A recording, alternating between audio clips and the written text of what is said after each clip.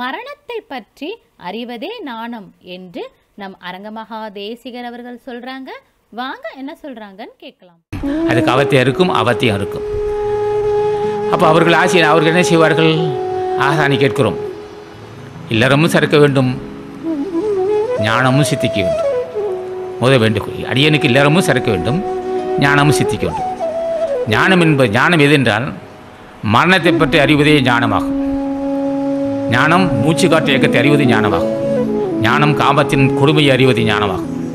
ஞானம் கோபத்தின் ஒரு கொடுமையை அறிந்து கொடுமையை அறிந்து கொள்வது ஞானமாகும். கொனைக்கேடுகளை அறிந்து கொள்வது ஞானமாகும். கொனைக்கேடுகளை அறிந்து கொண்டவன் அத்தனை கொனைக்கேடுகளை அறிவதற்கு ஞானம் வேண்டும். ஞானம் என்பது என்ன? சிறப்பறிவு. சிறப்பறிவு எப்படி வரும்? சிறப்பறிவுக்கே தலைவனாகிய ஞானிகள் ஆசை இல்லாமல் ஒருவன் சிறப்பறிவு வராது. அறிவு சிறப்பறிவு. சிறப்பு எதுன்னு கேட்டான். இனி அவன் சாகக்கூடாது. அதான் சிறந்த அறிவாளி. சாகக்கூடியவன் சிறப்பறிவு உள்ளவனோ? ஏற்றுக்கொள்ள முடியுமா? நகைப்பு கிடமாகும் இறந்து போவனுக்கு என்ன பெருமை இருக்கு? பிறந்தால் இறக்கக்கூடாது. இறப்பவனுக்கு என்னையா பெருமை? இதோ புகழோடு வாழ்கிறான். அவ்வளோதானே சாவு தானே? சாவு வந்துடும் இல்லவா? அப்போ உடம்பையும் உயிரையும் சேர்க்க கற்றுக்கொள்ளாதவன் இறந்தே விடுவான். என்ன பெருமை இருந்து என்ன பலன்? எத்தனை பெருமை இருந்தாலும் என்ன செய் பெருமை எது என்று கேட்டான் அவன் இறக்கக்கூடாது.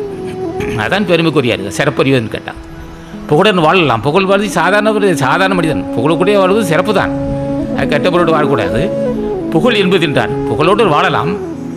இகத்தில் புகழும் பரத்தில் ஞானமும் பெறும் சொல்வார். சிறப்புயினும் செல்வமியினும் அறத்தினும் ஆக்கம் எவனோ உயிர்க்கன வள்ளுவன் சிறப்புயினும் செல்வமியினும் புண்ணியவான் புண்ணியம் செய்ய செய்ய இருக்கிறான் புகழ் உண்டாகும். ஞானமும் சித்தி செல்வமும் பெருகும். யாருக்கு ஏமாந்து விட வேண்டாம். அன்னதானா செய்தால் நஷ்டம் வந்து ஏமாந்துடாதீங்க யாராவது சொல்லுவான் ஐயா வச்சு இது சில பேர் கண்டல் செய்வான் சிறப்பு இனும் செல்வம் இனும் அறத்தினுங்கு ஆக்கம் எவனோ உயிர்க்கனா வள்ளுவன். செல்வத்தை புகழையும் தரும் செல்வத்தையும் தரும். அது மட்டுமல்ல உயிருக்கு ஆக்கமும் தரும்னா. உயிருக்கு ஆக்கம் கண்டவன் ஞானிகள். உயிருக்கு எப்படி ஆக்கம் வரும்? உடம்புக்கு ஆக்கம் எப்போ வரும்? சாப்பிட்றோம் நல்லா உடம்பு நல்லா திடமாக இருக்குது உடம்புக்கு ஆக்கம். உயிருக்கு ஆக்கம். உயிருக்கு ஆக்கம் உயிருக்கு ஆக்கம் பெறவும் சேர வேண்டும் சிறப்பையினும் செல்வமீனும் அறத்தினும் ஆக்கம் எவன் ஆக்கம் உயிருக்கு ஆக்கம் பெற வேண்டும் உயிருக்கு ஆக்கம் தேடி தேட வேண்டும். உயிருக்கு ஆக்கம் விட்டால் என்ன ஏற்படும்?